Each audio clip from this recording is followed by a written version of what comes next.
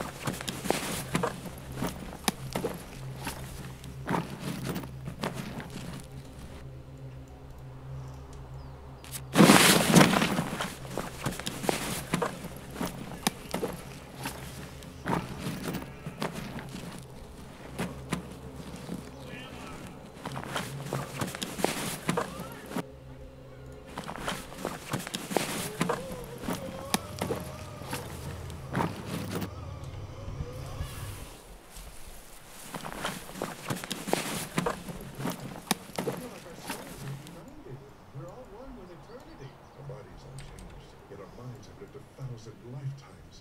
Is that enough time for me?